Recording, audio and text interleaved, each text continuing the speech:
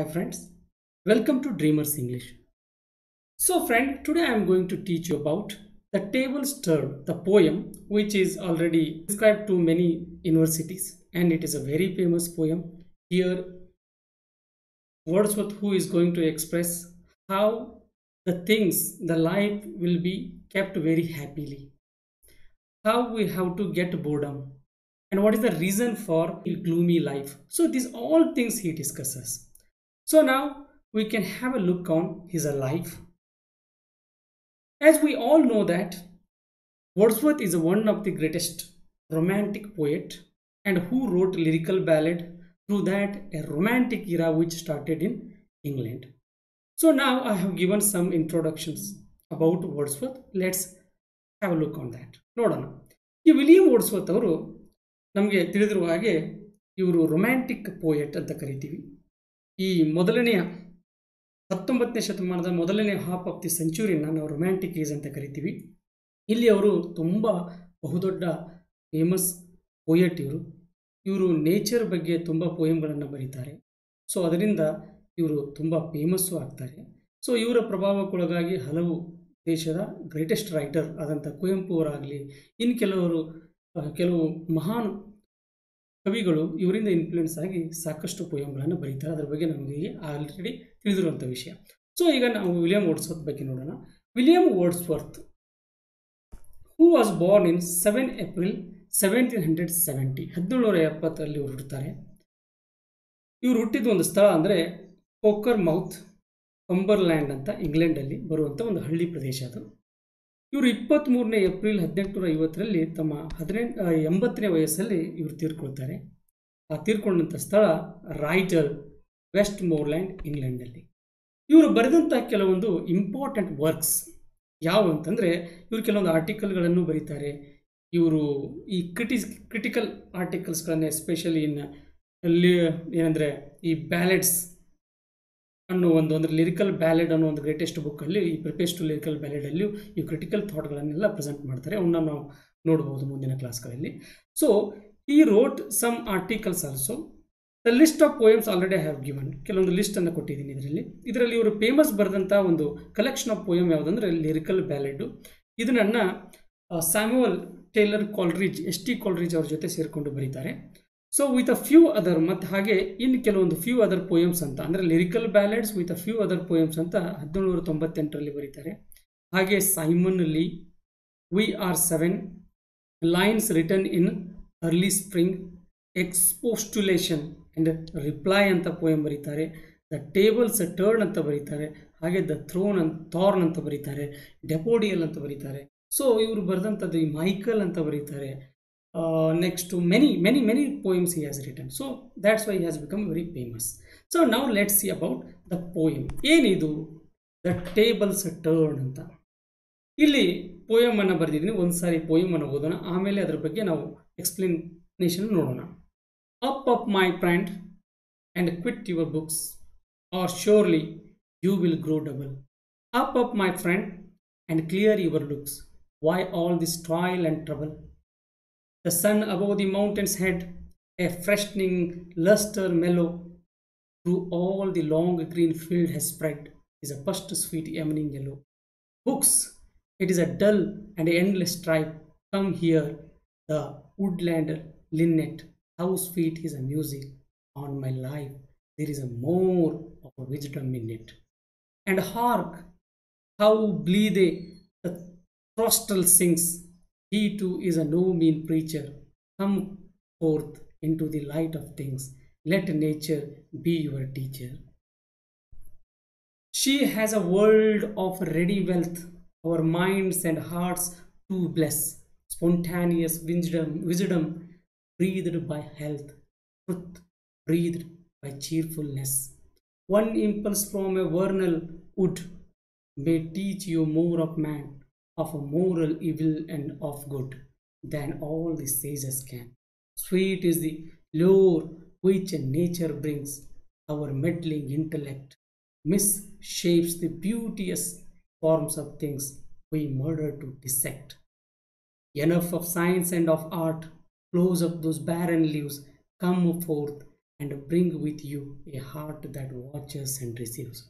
So, friends, here the poet Wordsworth who is going to tell you about there is nothing in the book where you are studying, where you are getting knowledge. You think that everything it is. No, no, no.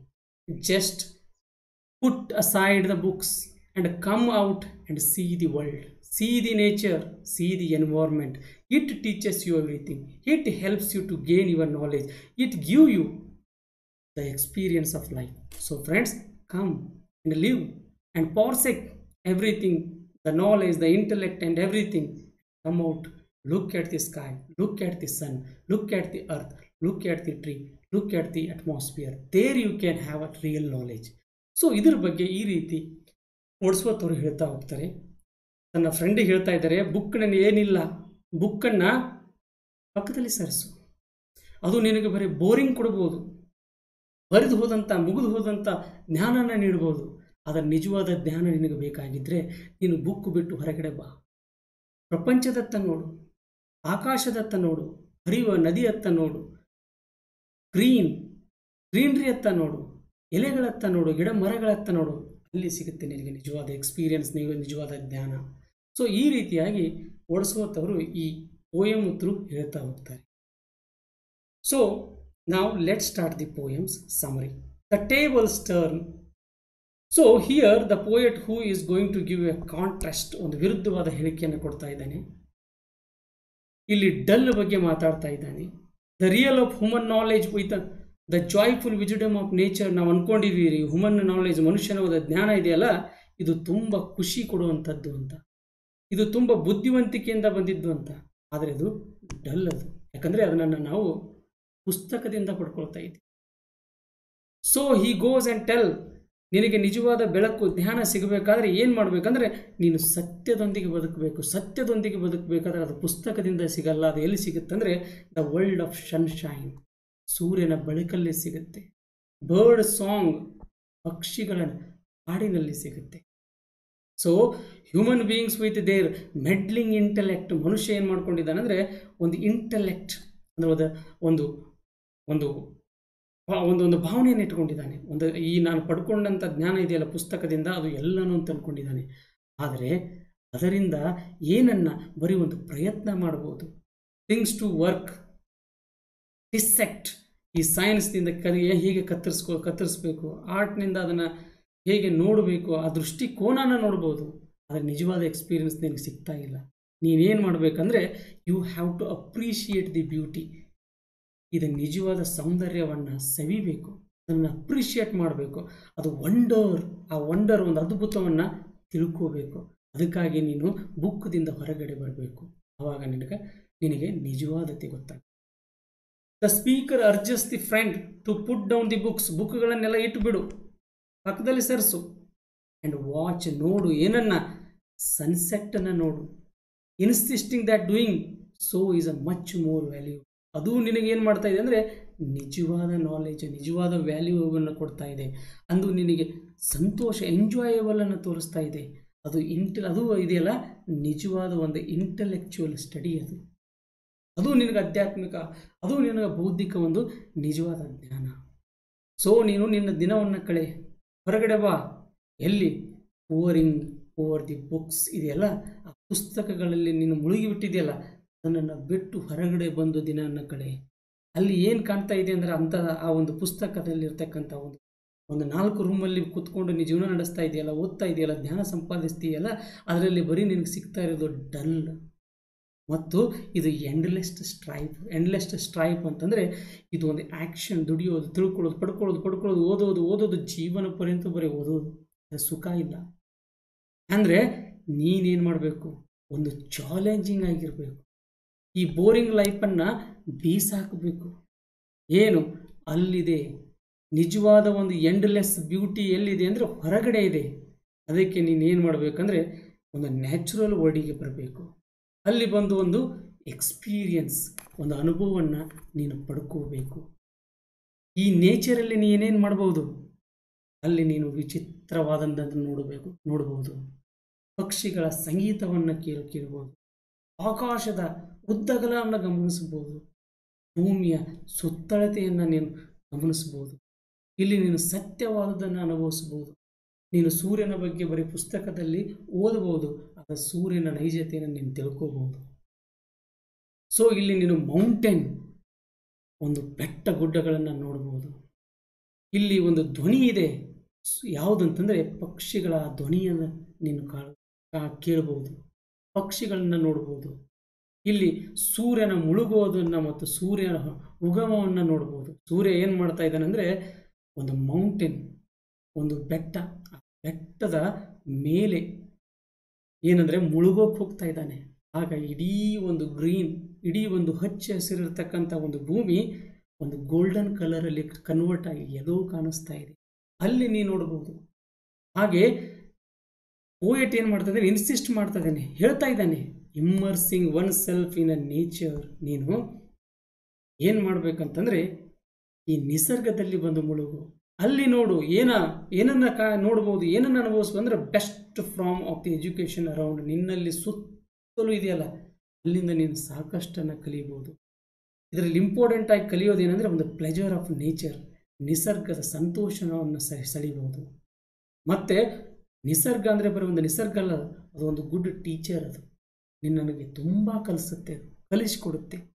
ಅಲ್ಲಿ ಬರೀ ಸಂತೋಷ ಅಷ್ಟೇ ಅಲ್ಲ, ಒಂದು ಸತ್ಯನೂ ನೀನು ಅನುಭವಿಸಬಹುದು so ಹಾಗೆ ಇಲ್ಲಿ ಒಂದು ಬುದ್ಧಿವಂತಿಕೆ ಜ್ಞಾನವನ್ನು ಪಡ್ಕೋಬಹುದು ನಾವೇನು ಅಂದ್ಕೊಂಡಿದ್ದೀವಿ ಅಂದರೆ ಒಂದು ನಿಸರ್ಗದಲ್ಲಿ ಬಂದು, ಈ ನಿಸರ್ಗದಲ್ಲಿ ನಿಂತು ಅನುಭವಿಸೋದಿದೆಯಲ್ಲ, ಒಂದು ಹತ್ತು ಜನ, ಒಂದು ದೊಡ್ಡ ಋಷಿಮುನಿಗಳ ಜ್ಞಾನಗಳನ್ನು, ಜ್ಞಾನಿಗಳನ್ನು ಸೇರಿಸಿ ಪಡ್ಕೊಳ್ತೀವಲ್ಲ ಜ್ಞಾನ ಆ ಒಂದೇ ಜ್ಞಾನ ನಿನಗೆ ಸ್ವರ್ಗ, ಆ ಒಂದು ಇಡೀ ಸ್ವರ್ಗದಂಥ ಜ್ಞಾನ ನಿಮಗೆ ಯಾವ್ದು ಕೊಡುತ್ತೆ ಅಂದರೆ ಆ ನಿಸರ್ಗ ಕೊಡುತ್ತೆ. ಇಲ್ಲಿ ಮ್ಯೂಸಿಕ್ ಆಫ್ ಲಿನ್ನೆಟ್ಟನ್ನು ನೋಡ್ಬೋದು. ಲಿನ್ನೆಟ್ ಅನ್ನೋದು ಒಂದು ಬರ್ಡ್ ಒಂದು ಪಕ್ಷಿ, ಅದರ, ಅದರಿಂದ ಹೊರಬರುತ್ತಲ್ಲ ನಾದ, ಆ ಧ್ವನಿ, ಆ ಚಿಲಿಪಿಲಿ ಧ್ವನಿ ಅದನ್ನು ಕೇಳಬಹುದು ಅದು ನಿನಗೆ ಸ್ವರ್ಗಕ್ಕೆ ಕರ್ಕೊಂಡು ಹೋಗುತ್ತೆ. ಹಾಗೆ the tree in a spring can teach one more about a morality ಒಂದು ಮರಗಳು, ಗಿಡಗಳು, ಆ ಸ್ಪ್ರಿಂಗ್ ಅಂದರೆ ಋತುಮಾನ ಎಸ್ಪೆಷಲಿ ಈ ಒಂದು ಈ ಸ್ಪ್ರಿಂಗ್ ಸಮ್ಮರ್ ಸೀಸನ್ ಆಗಲಿ ಸ್ಪ್ರಿಂಗ್ ಸೀಸನಲ್ಲಿ ಅಲ್ಲಿ ನಿಂತಾಗ ನಿನಗೆ ನಿಜವಾದ ನೈತಿಕತೆ ಗೊತ್ತಾಗುತ್ತೆ. ಆ ಎಲೆಗಳ ಚಿಗುರುವಿಕೆ, ಆ ಪಕ್ಷಿಗಳ ಹಾಡು ಮತ್ತು ನಿನಗೆ ಹೇಗೆ ಈ ಭೂಮಿ, ಈ ಸ್ವರ್ಗ, ಹೇಗೆ ಈ ನಿಸರ್ಗ ಒಂದು ಉಗಮ ಆಯಿತು, ಅದು ಯಾರಿಗಾಗಿ ಆಯಿತು? ಅದು ಏನನ್ನು ನಮಗೆ ಕಲಿಸ್ಕೊಡ್ಬೋದು? ಈ ಎಲ್ಲರ ಮಾಹಿತಿ ಎಲ್ಲದ ಇತಿಹಾಸನ ನೀವು ಪಡ್ಕೋಬೋದು.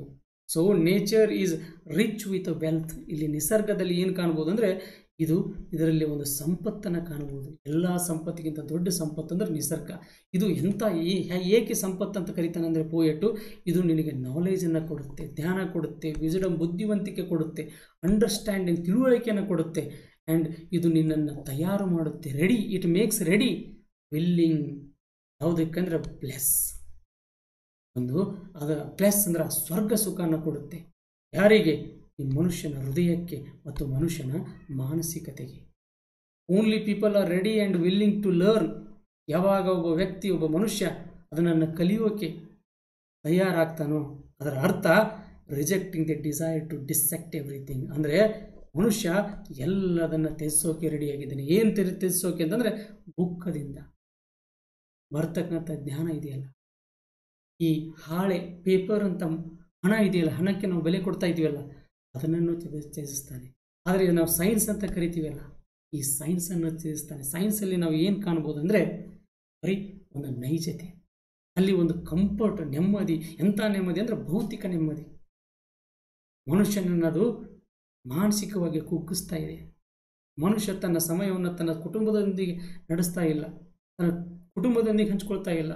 ಅವನು ಬರೇ ವಸ್ತುಗಳ ಜೊತೆ ಹಂಚ್ಕೊಳ್ತಾ ಇದ್ದಾನೆ. ಮೊಬೈಲ್ ಫೋನ್ಗಳು ಟಿ ವಿ ಮುಂದೆ ಫ್ರಿಜ್ಜು ವಾಷಿಂಗ್ ಮಿಷಿನ್ ಈ ರೀತಿ ಮುಂದೆ ತನ್ನ ಸಂತೋಷನ ಪಡ್ತಾ ಇದ್ದಾನೆ. ಹೊರತು ನಿಜವಾದ ಸಂತೋಷ ಅವನಿಗೆ ಸಿಗ್ತಾ ಇದೆ ಅದಕ್ಕೆ ಸೈನ್ಸನ್ನು ರಿಜೆಕ್ಟ್ ಮಾಡ್ತಾ ಇದೆ ಪೋಯೆಟ್ಟು ಹಾಗೆ ಅಕಾಡೆಮಿಕಲ್ಲಿ ಇದೆಯಲ್ಲ ನಾವು ಅಂದ್ಕೊಂಡಿದ್ದೀವಿ school college P H D ನೌಕರಿ, ಅದು, ಇದು ಅಂತ ಹೇಳ್ಕೊಂಡಿದ್ದೀವಲ್ಲ, ಅದನ್ನು ರಿಜೆಕ್ಟ್ ಮಾಡ್ತಾನೆ. ಯಾಕಂದರೆ ನಮಗೆ ನಿಜವಾದ ಜ್ಞಾನ ಬರೋದು, ನಮಗೆ ನಿಜವಾದ ಬುದ್ಧಿವಂತಿಕೆ ಸಿಗೋದು ತಿಳುವಳಿಕೆ ಸಿಗೋದು, ಒಂದು ಇದಕ್ಕಿಂತ ಮೇಲಾಗಿ ನಮಗೆ ಸಿಗುವಂಥ ಸ್ವರ್ಗ ಸುಖ ಇದೆಯಲ್ಲ, ಅದು ನಿಸರ್ಗದಿಂದ ಮಾತ್ರ ಸಿಗುತ್ತೆ ಅಂತ ಹೇಳ್ತಾರೆ. ಸೊ ಅದಕ್ಕೆ ಬ್ಯೂಟಿಯಸ್ ಫಾರ್ಮ್ ಆಫ್ ಥಿಂಗ್ಸ್ ಅಂತ ಕರೀತಾನೆ. ನಿಸರ್ಗನ ಬ್ಯೂಟಿಯಸ್ ಫಾರ್ಮ್ ಆಫ್ ಥಿಂಗ್ಸ್ ಇದು ಜಗತ್ತಿನಲ್ಲಿ ಎಲ್ಲಿ ಕಾಣದಂಥ ಸೌಂದರ್ಯನ ನಿಸರ್ಗದಲ್ಲಿ ಮಾತ್ರ ಕಾಣ್ಬೋದು ಆದರೆ, ಪುಸ್ತಕದಿಂದ ಪಡ್ಕೊಂಡಿರುವಂಥ ಜ್ಞಾನ ಇದೆಯಲ್ಲ, ಅದೆಲ್ಲ ಬರೀ ಪುಸ್ತಕದ ಬದನೆಕಾಯಿ. ಅದು ಬರೀ ನಮ್ಮನ್ನು ನಾಶದತ್ತ ಕೊಂಡೊಯ್ಬೋದು. ಸೈನ್ಸನ್ನು ಓದಿದ್ದಕ್ಕೆ ಸೈನ್ಸನ್ನು ಜ್ಞಾನ ಪಡ್ಕೊಂಡಿದ್ದಕ್ಕೆ ನಾವು ಮಾಡಿದ್ದೇನೆಂದರೆ ಯುದ್ಧಗಳನ್ನು. ಇವತ್ತು ಒಂದು ಯುಕ್ರೇನ್ ಮೇಲೆ ಒಂದು ರಷ್ಯಾ ದಾಳಿ ಮಾಡ್ತಾ ಇದೆ, ವೈಮಾನಿಕ ದಾಳಿಯನ್ನು ನಡೆಸ್ತಾ ಇದೆ. ಬಾಂಬುಗಳು ಮದ್, ಇವುಗಳನ್ನು ಎಸಿತಾ ಇದೆ, ನಾಶ ಮಾಡ್ತಾ ಇದೆ. ಇದು ಹೊಂದಿದ್ದು ಪುಸ್ತಕದ ಜ್ಞಾನ ಎಕ್ಸ್ಪೀರಿಮೆಂಟು ಫಾರ್ಮುಲಾಗಳಿಂದ ಅಂತಹ ಜ್ಞಾನ ಬೇಕಾಗಿಲ್ಲ ಮನುಷ್ಯನಿಗೆ. ಮನುಷ್ಯನಿಗೆ ನೈಜವಾದ ಜ್ಞಾನ ಬೇಕು. ಅವನು ಹೊರಗಡೆ ಬರಬೇಕು. ಸೊ ಅವನು ತನ್ನ ಜೀವನವನ್ನು ಈ ನಿಸರ್ಗದ ಮಡಿಲಲ್ಲಿ ನಡೆಸಬೇಕು. ಅವಾಗ ಅವನಿಗೆ ಸೆನ್ಸ್ ಆಫ್ ಹ್ಯುಮಿಲಿ ಹ್ಯುಮ್ಯಾ ಹ್ಯುಮಿಲಿಟಿ ಅನ್ನೋದು ಗೊತ್ತಾಗುತ್ತೆ. ಹ್ಯುಮಿಲಿಟಿ ಅಂದರೆ ಆ ಒಂದು ಕೆಳಭಾವನೆ, ಏನಪ್ಪ ನಾನು ಏನು ಮಾಡ್ತಾ ಇದ್ದೀನಿ? ನನ್ನ ಸಂತೋಷ ನಾನು ಎಲ್ಲಿ ಪಡ್ಕೋಬೇಕಾಗಿತ್ತು? ಏನು ಮಾಡ್ತಾ ಇದ್ದೀನಿ ಅನ್ನೋದ್ರ ಬಗ್ಗೆ ಗೊತ್ತಾಗುತ್ತೆ. ಅದಕ್ಕೆ looking on and taking whatever the nature world presents them so ಅದಕ್ಕೆ ನಾನು ನಿಸರ್ಗ ಜೊತೆ ಇರಬೇಕು. ನಿಸರ್ಗ ಜೊತೆ ಬಾಳಬೇಕು. ನನ್ನನ್ನು ಹೇಳ್ತಾ ಹೋಗ್ತಾನೆ. ಅವನು ತನ್ನ ಫ್ರೆಂಡಿಗೆ ಅದನ್ನೇ ಹೇಳ್ತಾನೆ ಪುಸ್ತಕಗಳನ್ನು ಬಿಟ್ಟು ಬಿಡು. ಅದರಲ್ಲಿ ಅಂಥದ್ದೇನೂ ಇಲ್ಲ. ಬರೀ ಅದರಲ್ಲಿ ಸಿಗೋದು ನಿನಗೆ ಕಷ್ಟ ಮತ್ತು ಟ್ರಬಲ್ ಅಂದರೆ ಪ್ರಾಬ್ಲಮ್ಗಳು ಮಾತ್ರ. ಯಾಕಂದರೆ ಅದರಿಂದ ನಿನಗೆ ಸಂತೋಷ ಸಿಗ್ತಾ ಇಲ್ಲ. ಮಾಡಬೇಕು ಅಂತ ಓದ್ತಾ ಇದೆಯಾ? ಏನಾದರೂ ನೌಕರಿ ಮಾಡಬೇಕು, ಅದನ್ನು ಪಡ್ಕೋಬೇಕು, ಇದನ್ನು ಪಡ್ಕೋಬೇಕು, ಕಷ್ಟನೇ ಪಡಬೇಕು ಅದರಲ್ಲಿ. ಆದರೆ ನಿನಗೆ ನಿಜವಾದದ್ದು ಎಲ್ಲಿ ಅಂದರೆ ಮೌಂಟೇನ್ ಒಂದು ಪರ್ವತದ ಮೇಲೆ ನಿಂತಾಗ ಒಂದು ಸೂರ್ಯ ಕಾಣ್ತಾನೆ ಫ್ರೆಶ್ನಿಂಗ್ ಲಸ್ಟರ್ ಮೇಲೂ ಸಿಗುತ್ತೆ. ಅಲ್ಲಿ ಒಂದು ಗ್ರೀನ್ ಫೀಲ್ಡ್ ಕಾಣುತ್ತೆ. ಅದು ಹೇಗೆ ಹೊಳಿತಾ ಇರುತ್ತೆ ಅಂದರೆ ಒಂದು ಯೆಲೋ ಒಂದು ಗೋಲ್ಡನ್ ಕಲರಲ್ಲಿ ಅಂದರೆ ಸೂರ್ಯನ ಬೆಳಕಿನಿಂದ. ಬುಕ್ಕದಲ್ಲಿ ಇರೋದು ಬರೀ ಡಲ್ನೆಸ್ಸು ಎಂಡ್ಲೆಸ್ ಸ್ಟ್ರೈಪ್ ಬರೀ ದುಡಿಮೆ. ಅದನ್ನು ಮಾಡಬೇಕು ಇದನ್ನು ಮಾಡಬೇಕು ಅನ್ನೋದು. ಆದರೆ ನಿಸರ್ಗದ ಮಡಲಿಯಲ್ಲಿ ಸಿಗೋದು ಏನಂತಂದರೆ ಒಂದು ವುಡ್ಲ್ಯಾಂಡ್ ಒಂದು ಬೆಟ್ಟ. ಆ ಬೆಟ್ಟದಲ್ಲಿ ಹಾಡ್ತಕ್ಕಂಥ ಲಿಟ್ ಲಿನ್ನೆಟ್ ಒಂದು ಪಕ್ಷಿ. ಆ ಪಕ್ಷಿಯ ಒಂದು ಧ್ವನಿ ಒಂದು ಮ್ಯೂಸಿಕ್ಕಿಗೆ ಸಮಾನಾಗಿರುತ್ತೆ. ಅದು ನಮಗೆ ಜೀವನ ಏನನ್ನೋದು ಕಲಿಸುತ್ತೆ, ಹಾಗೆ ನಮಗೆ ಬುದ್ಧಿವಂತಿಕೆಯನ್ನು ಕೊಡುತ್ತೆ. ಹಾಗೆ ಥ್ರೊಸ್ಟಲ್ ಅನ್ನೋ ಇನ್ನೊಂದು ಪಕ್ಷಿ ಹಾಡನ್ನು ನಾವು ಕೇಳ್ತೀವಿ. ಈ ಹಾಡಿನಿಂದ ನಮಗೆ ಬರೀ ಪ್ರೀಚಿಂಗ್, ಬರೀ ಪಾಠ ಸಿಗಲ್ಲ. ಪುಸ್ತಕದಲ್ಲಿ ಓದಿದರೆ ನಮಗೆ ಪಾಠ, ಪ್ರವಚನ ಸಿಗುತ್ತೆ, ಅದು ಸಿಗಲ್ಲ. ನಮಗೆ ಲೈಟ್ ಆಫ್ ಥಿಂಗ್ಸ್ ಅಂತೆ. ಇಲ್ಲಿ ಸಿಗೋದು ನಮಗೆ light of things, let nature be your teacher. ಇಲ್ಲಿ ನಿಜವಾದದ್ದನ್ನು ಪಡ್ಕೊಳ್ಳೋದು ಒಂದು ನಿಸರ್ಗದಿಂದ, ಯಾಕಂದರೆ ನಿಸರ್ಗ ನಮಗೆ ಒಬ್ಬ ಶಿಕ್ಷಕನಿದ್ದಂಗೆ. ಹಾಗೆ ಇಲ್ಲಿ ವೆಲ್ತ್ ಒಂದು ಸಂಪತ್ತಿನ ಬಗ್ಗೆ ಮಾತಾಡ್ತಾನೆ ನಿಜವಾದ ಸಂಪತ್ತು ಯಾವುದಂದ್ರೆ ಹೃದಯ ಸಂಪತ್ತು. ಆ ನಮ್ಮ ಹೆಲ್ತ್ ಚೆನ್ನಾಗಿದ್ದರೆ ಆ ವೆಲ್ತ್ ತಾನಾಗಲೇ ಬರುತ್ತೆ, ಆ ಜ್ಞಾನ ತಾನಾಗಲೇ ಬರುತ್ತೆ. ಅದ್ರ ಹೆಲ್ತ್ ಚೆನ್ನಾಗಿರ್ಬೇಕಾದ್ರೆ ನಮಗೆ ಇಲ್ಲಿ ಚೀರ್ಫುಲ್ನೆಸ್ ಹ್ಯಾಪಿನೆಸ್ ಇರಬೇಕು. ಹಾಗೆ ವರ್ಡ್ಸ್ವರ್ತ್ ಅವರು ವರ್ನಲ್ ವುಡ್ ಬಗ್ಗೆ ಮೆನ್ಷನ್ ಮಾಡ್ತಾರೆ. ವರ್ನಲ್ ವುಡ್ ಅಂದರೆ ಅದು ಬೆಟ್ಟ, ಗುಡ್ಡ ಅಂತ ಅರ್ಥದಲ್ಲಿ ಕೊಡ್ತಾನೆ, ಒಂದು ನಿಸರ್ಗಕ್ಕೆ ಹೋಲಿಸ್ತಾನೆ. ಇಲ್ಲಿ ನಾವು ಏನನ್ನು ಕಲಿಬೋದು ಅಂದರೆ ಬರೀ ಮನುಷ್ಯ may teach you more of man of a moral evil ಒಂದು ಪುಸ್ತಕ ನಿನಗೆ ಬರೀ ಒಂದು ಈ ಇವಿಲ್ ಅಂದರೆ ಒಂದು ಕೆಟ್ಟದ್ದನ್ನು ಕಲಿಸ್ಬೋದು, ಒಳ್ಳೆಯದನ್ನು ಕಲಿಸ್ಬೋದು, ಹಾಗೆ ನೈತಿಕತೆಯನ್ನು ಕಲಿಸ್ಬೋದು ಪುಸ್ತಕ. ಆದರೆ ಈ ಪುಸ್ತಕಕ್ಕಿಂತಲೂ ಹೆಚ್ಚು ಕಲಿಸುವಂಥ ನೈತಿಕತೆ ಒಳ್ಳೆಯತನ ಎಲ್ಲಿಂದ ಸಿಗುತ್ತೆ ಅಂದರೆ ನಿನಗೆ ಒಂದು ವರ್ನಲ್ ವುಡ್ ಅಥವಾ ಒಂದು ನಿಸರ್ಗದಿಂದ ಸಿಗುತ್ತೆ. ಒಂದು ಎಲ್ಲೋ ಸೇಜಸ್ ಅಂದರೆ ಋಷಿಗಳನ್ನು ಒಂದು ಕಡೆ ಇಟ್ಟು, ನಿಸರ್ಗನ ಒಂದು ಕಡೆ ಇಟ್ಟರೆ ನಿಸರ್ಗ ಒಂದು ಋಷಿಗಳಿಗಿಂತಲೂ ಮುಖ್ಯವಾಗಿದ್ದು ಅನಿಸುತ್ತೆ. ಇಲ್ಲಿ ನಿಮಗೆ ಸ್ವೀಟ್ ಮಧುರವಾದಂತಹ ಲೋರ್ ಪದಗಳು ಸಿಗ್ತವೆ. ಅದರಿಂದ ಅಂತಂದರೆ ವರ್ಡ್ಗಳ ಸಾಂಗ್ಗಳು ಸಿಗ್ತವೆ. ಇಟ್ ಬ್ರಿಂಗ್ಸ್ ಇದು ಕೊಡುತ್ತೆ ನಿಮಗೆ. ಆ ಎಲೆಗಳ ಸದ್ದು, ಆ ಹರಿಯುವ ನದಿಯ ಶಬ್ದ ಈ ರೀತಿ. ಈ ಮೆಡ್ಲಿಂಗ್ ಇಂಟೆಲೆಕ್ಟ್ ಬುಕ್ಕದಿಂದ ಪಡ್ಕೊಂಡಂಥ ಜ್ಞಾನ ಇದೆಯಲ್ಲ, ಇದು ಮಿಸ್ಟರ್ ಶೇಪ್ಸ್ ನಿನ್ನ ಪರ್ಸ್ನಾಲಿಟಿಯನ್ನು ಶೇಪ್ ಇಲ್ದಂಗೆ ಮಾಡುತ್ತೆ. ಯಾಕಂದರೆ ನಿನ್ನ ಬ್ಯೂಟಿ ಅನ್ನೋದು ಇದೆಯಲ್ಲ beauteous form of things we murder to dissect dissect ಅಂದರೆ ಅದನ್ನು ಕೊಯ್ದು ಹಾಕ್ತೀವಿ. ಎಲ್ಲಿಂದ ಅಂತಂದರೆ ಪುಸ್ತಕದಿಂದ ಪಡ್ಕೊಂಡಂಥ ಜ್ಞಾನದಿಂದ ಬರೀ ಹಾಳು ಮಾಡೋದನ್ನು ಮಾತ್ರ ನಾವು ಪಡ್ಕೊಳ್ತೀವಿ. ಅದಕ್ಕೆ ಪೋಯೆಟ್ ರಿಜೆಕ್ಟ್ ಮಾಡ್ತಾನೆ. ಸೈನ್ಸನ್ನು ಆರ್ಟನ್ನು art art science and of art close up those barren leaves ಅದು ಏನು ಮಾಡ್ತಾ ಇದೆ ಅಂದರೆ ಸೈನ್ಸ್ ಸಾಕಷ್ಟು ಸೈನ್ಸ್ದಿಂದ ಇಡೀ ನೀವು ಏನಂದರೆ ಈ ನಿಸರ್ಗ ಎಲೆಗಳಿಂದ ತುಂಬಿಕೊಂಡಿದೆ. ಅದರ ಸೈನ್ಸ್ ಬಂದ ಮೇಲೆ ಸೈನ್ಸ್ನ ಇನ್ವೆನ್ಷನ್ ಸ್ಟಾರ್ಟ್ ಆದಮೇಲೆ ಈ ಎಲೆಗಳು ಎಲ್ಲ ಉದಿರಿ ಹೋಗ್ತಾ ಇದೆ, ಒಂದು ಬ್ಯಾರನ್ ಆಗ್ತಾ ಇದೆ. ಸೊ ಕಮ್ ಪ್ರೋತ್ ಅದಕ್ಕಾಗಿ ಬಾ, ಹೊರಗಡೆ ಬಾ. ಏನಂದ್ರೆ ನಿನ್ನ ಹೃದಯನ ತಗೊಂಡು ಬಾ. ಅಲ್ಲಿ ನೀನು ಏನು ಮಾಡ್ಬೋದು ಅಂದ್ರೆ ನೋಡ್ಬೋದು, ವೀಕ್ಷಣೆ ಮಾಡ್ಬೋದು. ರಿಸೀವ್ಸ್, ಅದನ್ನು ಸ್ವೀಕರಿಸ್ಬೋದು. ಯಾವುದನ್ನಂದರೆ ಎಲ್ಲಿಯೂ ಸಿಗದೇ ಇರೋದಂಥ ಸ್ವರ್ಗ ಸುಖಾನ ನೀವು ಪಡ್ಕೋಬೋದು. So this is the poem about table turned that Wordsworth who is going to tell us nature is a teacher nature is a wealth nature is a wisdom nature is a knowledge nature is a ಸ್ಟ್ಯಾ understanding nature is every so let the dullness keep it away and love the nature and enjoy the beauty of so friends ಈ poem ನಿಮಗೆ ಇಷ್ಟ ಆಗಿದೆ ಅಂತ ತಿಳ್ಕೊಳ್ತೀನಿ. ಯಾರು ಹೊಸಬ್ರು ಈ ಪ ಇವತ್ತೇನಾದರೂ video watch ಮಾಡ್ತಾ ನೀವು ಸಬ್ಸ್ಕ್ರೈಬ್ ಆಗಿ, ಹಾಗೆ ನಿಮ್ಮ ಫ್ರೆಂಡ್ಗಳಿಗೆ ನನ್ನ ವಿಡಿಯೋನ ಶೇರ್ ಮಾಡಿ, ಹಾಗೆ ಲೈಕ್ ಬಟನ್ ಮೇಲೆ ಪ್ರೆಸ್ ಮಾಡಿ ಲೈಕ್ ಮಾಡಿ. ಸೊ ಫ್ರೆಂಡ್ಸ್ ಇದೇ ರೀತಿ ಇನ್ನೊಂದು ವಿಡಿಯೋ ಜೊತೆ ಮತ್ತೆ ಭೇಟಿ ಆಗ್ತೀನಿ ಥ್ಯಾಂಕ್ ಯು